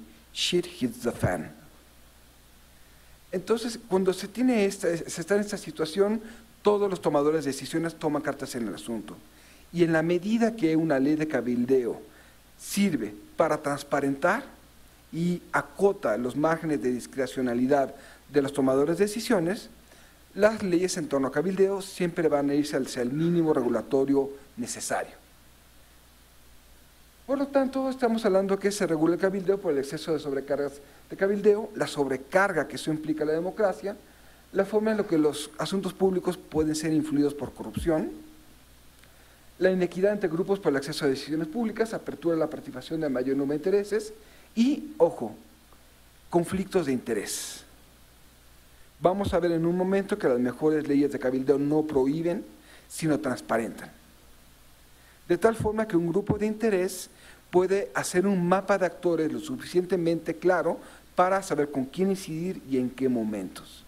Y naturalmente vamos a hablar también del uso de información de ex legisladores que se dedican a cabildeo o cabilderos que ingresan al sector público. El gremio de cabilderos está fundamentalmente controlado por ex legisladores. Eso no es malo. ¿Por qué? Porque un, un cabildero es una persona que tiene una relación de confianza con sus ex compañeros. Y en este medio la moneda de cambio es la confianza que se le tenga hacia un agente de cabildeo. Eso no es malo, lo malo es cuando no hay controles sobre puertas giratorias. ¿Qué significa eso? Que hay un tiempo, de que, que hay un tiempo entre que el legislador deja de serlo y entra al sector privado. De tal forma que el riesgo de que se utilice información privilegiada es mínimo. Por lo tanto, ¿cuáles son para mí los ejes de un buen marco regulatorio? De acuerdo con la experiencia comparada, existen cuatro pies en esta mesa y un optativo. ¿Cuál es, en primer lugar? Reglas de financiamiento para las campañas que permitan conocer los flujos de dinero. El principal campo de intervención, el principal campo regulatorio es campañas.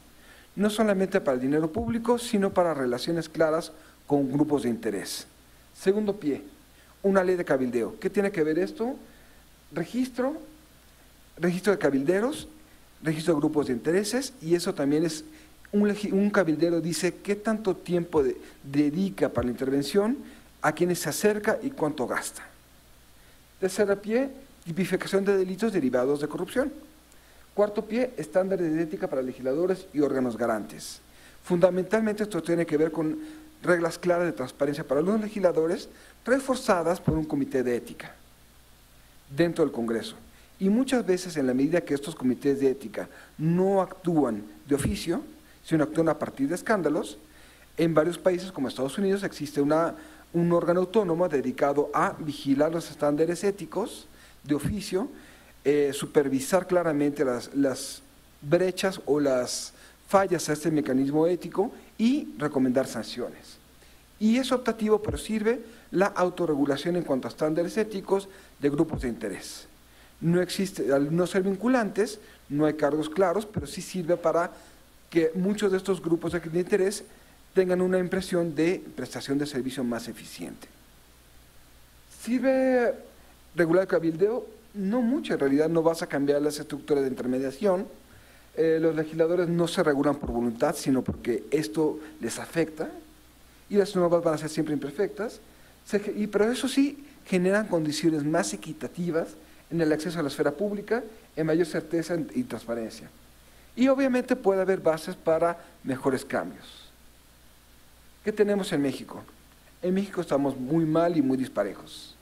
Hay un fundamento constitucional si se entiende que varios, varios derechos, varios derechos, derechos inciden en la garantía de la, de la actividad de cabildeo, Las leyes electorales lamentablemente están orientadas hacia vigilar topes de gastos de campaña y no orígenes de recursos. Y tenemos, tenemos también lamentablemente una orientación fundamentalmente de recelo hacia organizaciones de la sociedad civil, recelo hacia el sector privado, cuando deberíamos de comenzar a hablar de liberalizar. No es malo tener intereses, sino no declararlos, diré un adagio. Eh, la ley de responsabilidades administrativas de 2016 afortunadamente comenzó a, profundizar más temas sobre, de corrupción en la esfera pública y ha hecho obligatorias las declaraciones patrimoniales, las declaraciones fiscales y de intereses de servidores públicos, no de legisladores. El Código Penal Federal también mejoró estas percepciones. Eh, y regulación interna. El Congreso aprobó en sus dos reglamentos, el Senado en 2010 y Cámara de Diputados en 2011, reglas de cabildeo que no tienen dientes. El registro de cabilderos corre a cargo de la mesa directiva y depende mucho del capricho del presidente de la mesa directiva activar o no estos registros. Y naturalmente no hay ninguna sola vinculatoriedad sobre penas o sobre condiciones en las que se rompe esto. Todavía más, hay un código de ética en la Cámara de Diputados eh, que es poco operante. Se mezclaron nociones de ética con disciplina con sesiones y algo muy extraño sobre conducta privada de legisladores. Y existe también otra regulación de los grupos de interés. La Asociación Mexicana de Profesionales de Cabildeo tiene un código de ética. Por lo tanto, sí existen algunas bases, salvo al interior del Congreso. Las leyes son laxas, no hay provisiones de transparencia, tenemos un código, un comité de ética bastante pobre.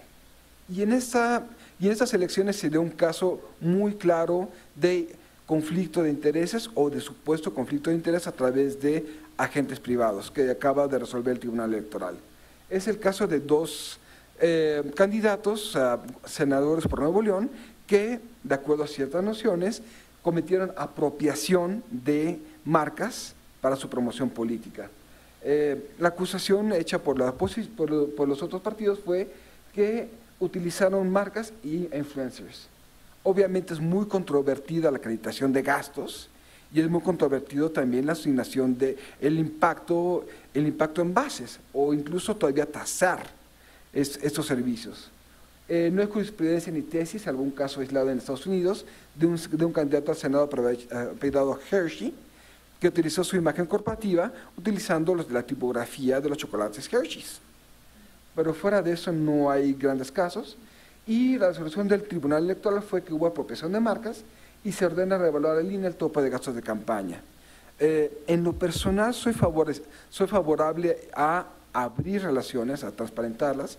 Ese va a ser un tema muy importante cuando empiece a operar la reelección, pero eh, creo que en mi, en mi, apreciación es un exceso, este, de, es un exceso de psicoapropiación pero si tenemos una normativa restringida y una normativa que prohíbe, lo que vamos a tener es resultados, como resultados son interpretaciones que van a ir hacia la restricción. Para mí este es un tema que hay que abrirlo sobre, eh, que hay que abrirlo. ¿Qué vamos a tener? Y con esto ya cierro. Eh, en primer lugar, hay malas noticias y hay una esperanza. ¿A qué me refiero? Con un grupo mayoritario, el cabildeo no se va a ir hacia el Congreso, se verá hacia el Ejecutivo. El poco cabildeo que vayamos a tener en el Congreso va a ser para tratar de tener acceso a los tomadores de decisiones del Ejecutivo en vez de la influencia directa en el Congreso. Es decir, el cabildeo va a ser como canal y no como blanco. Segundo, un Congreso, un Ejecutivo, un gobierno mayoritario, un gobierno unificado, va a tener poco interés en fortalecer o en mejorar la institucionalidad del Congreso. Lo que menos le importa a un partido en el poder cuando tiene mayoría en el Congreso es mejorar la institucionalización del Congreso. ¿Para qué vas a invertir en un contrapeso eh, bajo esta circunstancia? Eh, va, por lo tanto, vamos, a tener una, vamos a tener una muy baja institucionalización del Congreso bajo esta premisa, al menos hasta 2021. Ya veremos qué pasa con la renovación de la Cámara de Diputados ese año. Obviamente, eh, si tenemos una ley prohibitiva, hay riesgo de ahondar en las prohibiciones, aún hasta el absurdo. Si no abrimos nosotros el debate sobre transparencia, sobre las premisas sobre una legislación adecuada, la inercia va a añadir más provisionismo hasta el absurdo. Y la esperanza. Podría haber la posibilidad, podría haber alguna esperanza de cambio en el sentido que vamos a tener legisladores que van a tener la expectativa de quedarse 12 años y eso va a, implicar que eh, un escándalo les va a afectar. Esa es mi pequeña esperanza y si lo que queremos es pensamiento táctico, necesitamos ahondar en eso. Y dicho esto, creo que ya pasé ligeramente mis cinco minutos. Muchísimas gracias.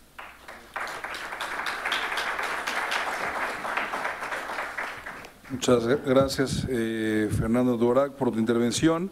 Eh, efectivamente, eh, ha sido muy ilustrativa tu, tu, ponencia respecto al cabildeo, porque se han constituido como, como medios para plantear o ejercer una influencia de determinados temas ante la falta, y algo que, que referíamos anteriormente, ante la falta de controles o vías ciudadanas para plantear temas y hacer eh, seguimientos de, de, cuestiones eh, de una forma efectiva. Entonces, pues los, los cabilderos o los grupos de cabildos han constituido en estos eh, intermediarios en estos factores para ejercer temas de influencia e incidir legislativamente. Bueno, hay muchas preguntas, tenemos poco tiempo. me comprometo ahorita a entregarle personalmente las, las preguntas a, a los expositores. casi todas, van en un mismo sentido, por lo cual, entonces, desde una forma de vista muy, muy discrecional, eh, tendré que agruparlas, ¿no? Eh, dos y cuarto tenemos que cortar, entonces, eh, si contestamos todas las preguntas nos vamos cada que es a las cuatro de la tarde, entonces voy a agrupar, casi todas van condensadas en un mismo sentido, entonces me voy a permitir eh, hacer eh, una o dos preguntas. Empezamos, si, si les parece, con la doctora Carla Huerta. Vamos en este orden, ¿no? ¿Sí? O con, el doctor Luis Carlos, como quieras, Carla.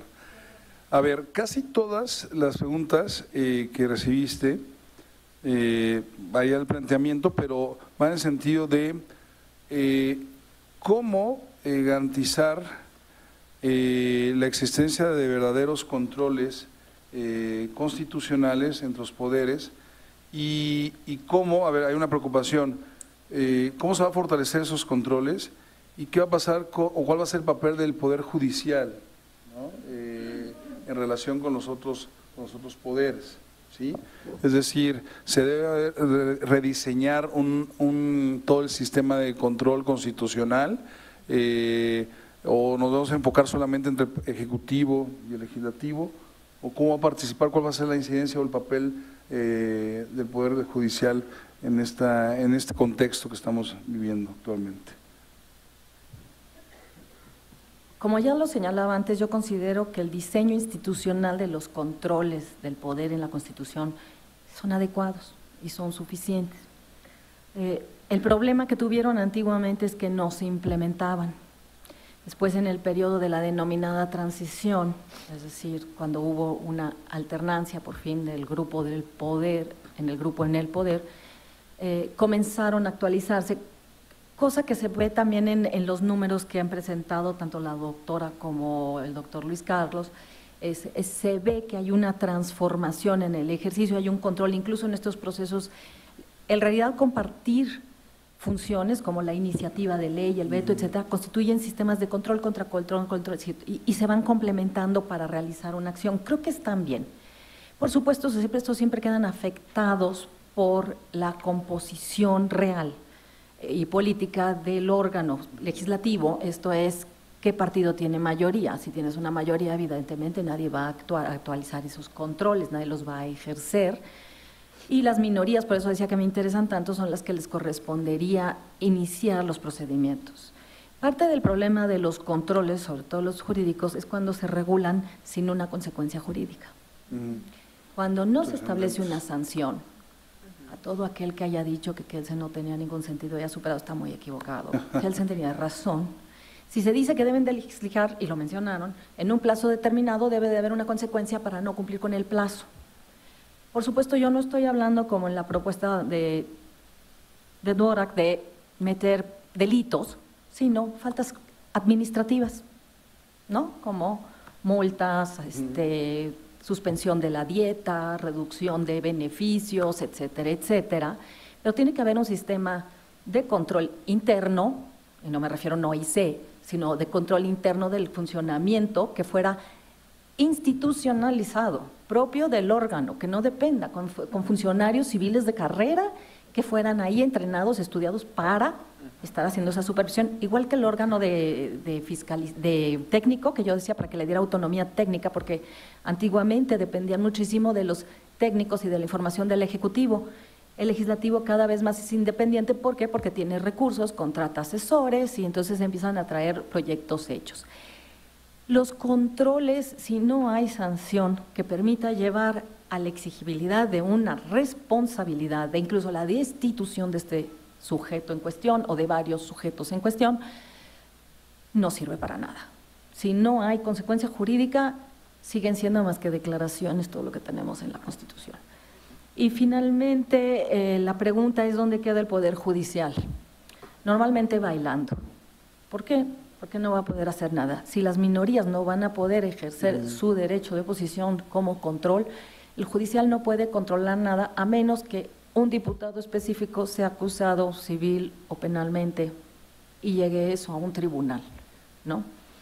De otra manera, no hay forma de que el Poder Judicial, más controles por parte del Judicial no son necesarios ni convenientes porque entonces podría bloquear el funcionamiento del Poder Legislativo. Y la gran diferencia es que uno es elegido presuntamente por el pueblo y el otro no. Entonces tienen una legitimación muy diversa, entonces pueden meterse a controlar lo que es por ejemplo, constitucionalidad y legalidad sobre su funcionamiento operatividad, me parece que ya sería una injerencia en el, en el órgano demasiado o incluso negativa. Gracias. Gracias, doctora. Efectivamente, eh, eh, una de, las eh, debilidades que se ha advertido en los controles políticos ha sido esa falta de sanción o esa carencia de sanción que lo, hace menos eficaz o al menos resulta menos eficiente a, la, a simple vista, ¿no? Eh, doctor Carlos Ugalde, fíjense que hay una, una, pregunta muy interesante y va, va relacionada, por eso me permití discrecionalmente armar ahí una, unas, un combo de preguntas. Fíjense que ahí llamó mucho la atención el tema de, eh, del gasto, este gasto necesario que está teniendo el Congreso y particularmente con el, con el tema de eh, la gestoría, ¿no? este tema de los, de los moches. Hay una, usted decía una desvirtuación en la función parlamentaria que se insertó para el beneficio de a ciertos grupos de interés, pero después ya se trasladó a nivel social. ¿sí? Y, conecto una pregunta que, que hace eh, alguien del público eh, sobre la representación de los pueblos originarios en las alcaldías, en las legislaturas locales y a nivel federal. Es un tema que se ha tratado históricamente sobre hacia un modelo no de mayorías, pero sí de representación. Y efectivamente hay sectores de la población, pueblos originarios, comunidades indígenas que no tienen una representación directa, eh, o a veces no, y ni siquiera indirecta. ¿Qué tanto esta cultura de la gestión eh, eh, administrativa que hacen los legislativos responde o ha florecido ante una necesidad de una falta de representación que tienen determinados grupos? o o efectivamente no responde a eso y tiene una finalidad eh, hacer ese tipo de gestiones para satisfacer o, un, interés propio o un interés eh, político, ¿no? O se fueron ya de la mano, entonces hay como un estado de necesidad de, de ambas situaciones. La falta de representación y mi función como gestor administrativo cuando no lo soy, ya que soy legislador, ¿no? Hay dos temas diferentes. Uno es la creencia de que los diputados son gestores sociales y de que deben llevar útiles escolares, regalos el Día del Niño, varillas, cemento. Y otro tema es, son los moches. Respecto al tema y creencia de que los legisladores son gestores sociales y son compensadores de problemas sociales y de cosas, yo creo que tiene que ver con eh, A, la labor que hizo el PRI durante muchos años, cuando era partido hegemónico, de que sus militantes o sus dirigentes hacían esto. Eh, dos, que tenemos una sociedad eh, segmentos de la población que han descubierto que las elecciones son un momento para hacerse de un patrimonio. Eh, esta idea de la compra del voto es más bien a veces extorsión del voto porque quienes piden dinero más bien son los votantes con frecuencia. Eh, y luego te dicen los diputados que ya que están, ya que son diputados, ya que no están en campaña, llegan a dar su informe de labores y la gente no le interesa más que yo he oído muchas historias de que quieren que les pague la tarjeta de crédito o de que pagues la cuenta del banco o de que pagues al médico. Esto es una cuestión que ya los muchos pobladores en algunas regiones del país ven como una exigencia. Entonces, los diputados te dicen, si yo no tengo lana para ir a estas reuniones, no puedo hacer política. Y si no puedo hacer política, ¿para qué soy diputado? Eh, porque reitero, el problema es, surge de los dos lados, pero en la población no hay interés en las funciones legislativas, sino de que el diputado te trae recursos. Ahí empieza el tema. Entonces los diputados exigen y los secretarios o los coordinadores parlamentarios empiezan a soltar lana para eso. Hasta hace algunos años hay algunas constituciones locales en donde ya se pone en la constitución que la gestoría de recursos es una parte de las funciones de los diputados. Yo recuerdo el caso de Durango, pero hay otros probablemente. Ese es el problema. ¿Cómo desmontas esto? Hace poco tenía una charla con una diputada de Guerrero local y me decía es que no hay manera de que nosotros podamos ir a dialogar con los votantes si no llevamos bienes materiales. ¿Cómo desmontas esto? No tengo idea.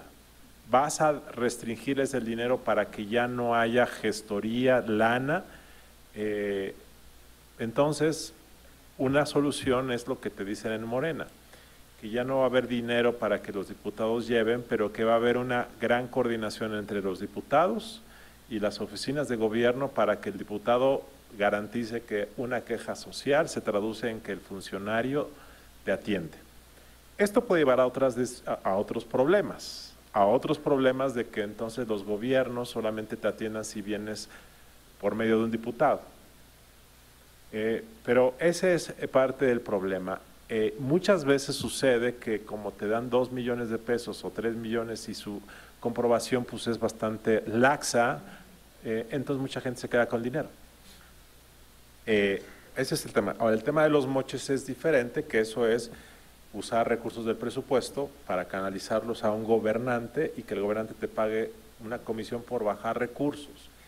Ese tema sí puede desaparecer muy rápido porque el gobierno no necesita a nadie para aprobar el presupuesto más que a Morena. Ayer un diputado, ayer quién me decía, ayer, un diputado del PRI me decía, los cuadros de Morena son los primeros que van a empezar a exigir estas prebendas porque son muchos de ellos políticos que provienen de un esquema de gobernabilidad construido sobre la base del clientelismo. Entonces no pueden ellos, ellos traen una cauda de seguidores que están buscando los beneficios presupuestarios del acceso al poder. Entonces la honestidad valiente de López Obrador va a chocar con esta necesidad de grupos que quieren acceso, prebendas, privilegios, dinero, plazas. Entonces, en el fondo el problema Parte del problema de la corrupción en México no tiene que ver con el DNA de la mafia del poder, tiene que ver con un mecanismo de gobernabilidad que surge desde el siglo XIX en México a nivel de regiones del país y de grupos populares que requieren estos mecanismos de compensación para generar apoyo político. Ese es el problema. Y esto yo creo que López Obrador no puede romperlo porque va, va en contra de su base de apoyo. Y por lo tanto, a mí sí me llama la atención si esto se va a poder romper tan fácilmente. Muchas gracias, doctor. Eh, para la doctora Laura Valencia Escamilla, eh, varias preguntas recibidas tienden a, a, comentar cómo o qué tipo de mecanismos se pueden establecer para dar seguimiento o monitorear eh, la transparencia parlamentaria, ¿no? porque ha habido algunos intentos desde el ámbito privado, pero eh, a nivel eh, público o ciudadano, ¿qué mecanismos se podría tener para, para garantizar una rendición de cuentas, un monitoreo de transparencia parlamentaria? Sí, gracias. Em, sí, efectivamente, el tema de transparencia ha sido un tema em, novedoso. De hecho, em, va a venir, creo, aquí el director de Transparencia Mexicana, precisamente. Eh, con él hemos trabajado fundamentalmente en este ámbito de Parlamento abierto. Desafortunadamente, aunque eh, el Congreso en general, hasta incluso los congresos locales, se han sumado a esta idea de Parlamento abierto, eh, no han establecido los mecanismos correctos. ¿En qué ámbitos son en los que están mucho más limitados? No es en la, en, la parte de, eh, por ejemplo, del acceso a la página web, porque de hecho las páginas web están muy bien evaluadas, salvo los congresos locales, pero a nivel federal están muy bien evaluadas. Eh, en el ámbito también de, eh, de, informes, hay muchos informes que, se obtienen sin ningún problema, iniciativas, esos contenidos están bien.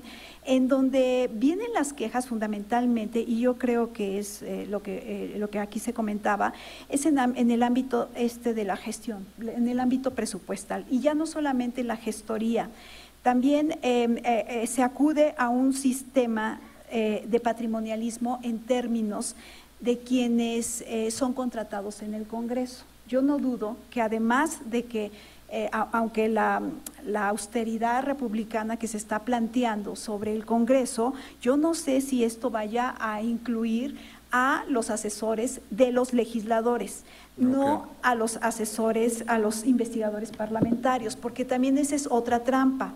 Ellos creen que eh, tener los legisladores deben de tener asesores particulares cuando debe existir investigadores parlamentarios, no asesores de cada uno de los legisladores, porque encontramos eh, eh, en, la universidad a veces se invitan a legisladores y es casi ridículo que vengan con una horda de, eh, de, sus asesores, entre comillas, y uno le carga la mochila, el otro le trae el papel, el otro le trae la, la, computadora, y esos son sus asesores. O sea, son absolutamente ridículos esos asesores porque precisamente no son de la institución, que era lo que yo me refería a las capacidades institucionales. Entonces, eso por un lado. Habrá que ver también si el servicio civil dentro del propio Congreso se, abrió en 2003 eh, eh, la posibilidad de servicio civil dentro del Congreso para investigadores, pero sin embargo esto se cerró porque quedó nuevamente en el tema del patrimonialismo. Entonces, esa es otra deficiencia de las cuales eh, tendrían que también ubicarse.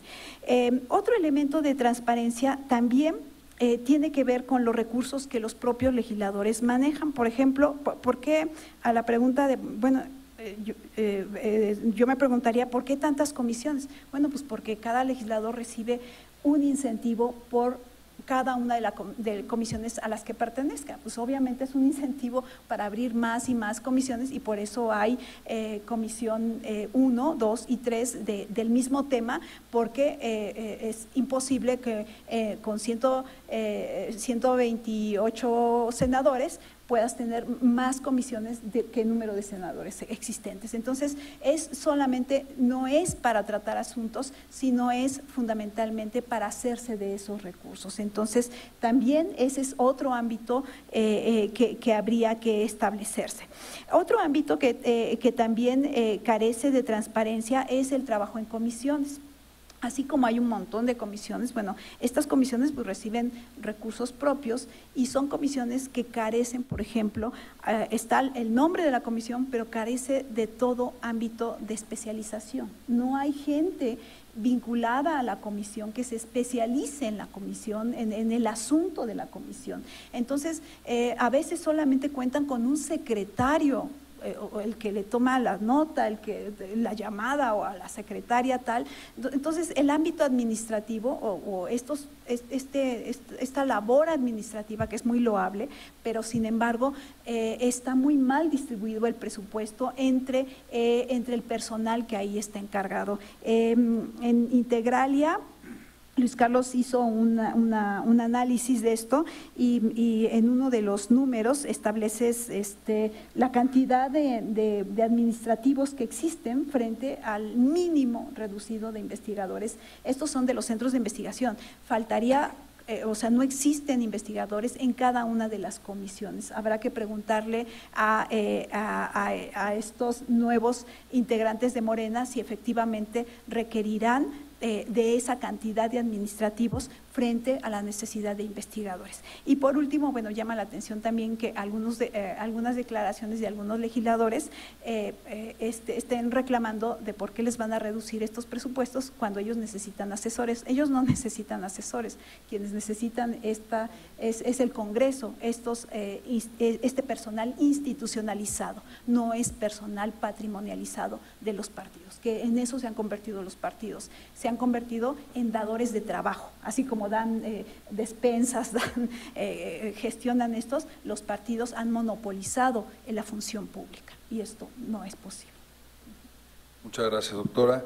Y para finalizar y cerrar eh, a tiempo, para Fernando Duarac, llamó mucho la atención efectivamente el, del tema del cabildeo y lo había mencionado la doctora Carla Huerta cuando refería ese tema de transparentar eh, lo que se está promoviendo, lo que se busca, eh, eh, la, iniciativa que se busca que se materializa en, ley, lo que se busca impulsar legislativamente. Es decir, la pregunta es, ¿considera que se debe transparentar en tiempo y forma e identificar las partes, el contenido de lo que se está proponiendo por parte de estos grupos de interés, hacerlos más visibles para evitar bueno, pues, eh, situaciones de que se esté buscando beneficiar eh, parcialmente a un sector o a, un grupo eh, de interés o a un partido político determinado. Es decir, en pocas palabras, se debe transparentar más. ¿Es viable? Porque a lo mejor el ejercicio del propio cabildeo no, no, está llamado a esa, esa vocación de transparencia. Yo creo, yo, yo, yo para la transparencia, pero también hay una, una acotación, ningún grupo de interés es malo o bueno mientras persiga fines lícitos. Es decir, creo que el primer paso es no satanizar algún, alguna agrupación u otra. Eh, segunda acotación, sin esta, la transparencia en cuanto a cabilderos y en cuanto a legisladores, tiene que ver primero vínculos y segundo, el cabildero tiene que transparentar qué hace, cuánto tiempo dedica, cuánto gana, con qué legisladores tiene contacto, con qué asesores. Es imposible transparentarlo absolutamente todo. Una transparencia total de cada parte del proceso mata el proceso de negociación. Pero sí yo creo que en, algo que, brinde certeza sobre quién está del lado de quién. Eso sí lo que, lo que yo haría. Y ojo, estas normas también tienen que ver con otro tema, Parlamento abierto. Es decir, no es lo mismo que presentes, que presentes los registros de cabilderos en la página 300 del Congressional Quarterly en letra 8 a que lo hagas con datos abiertos. Es decir, hay que comenzar a ver aquí estos detalles y estas redes. Pero básicamente sí soy, soy favorable a transparencia y a claridad de intereses. Muchísimas gracias eh, a los integrantes de esta mesa relación del Ejecutivo Federal con el Legislativo y a todos ustedes por haber eh, asistido. Eh, muchas gracias, doctora, doctor, doctora, muchas Fernando, te agradezco. Y bueno, pues este, continúen los trabajos por, por la tarde. Gracias.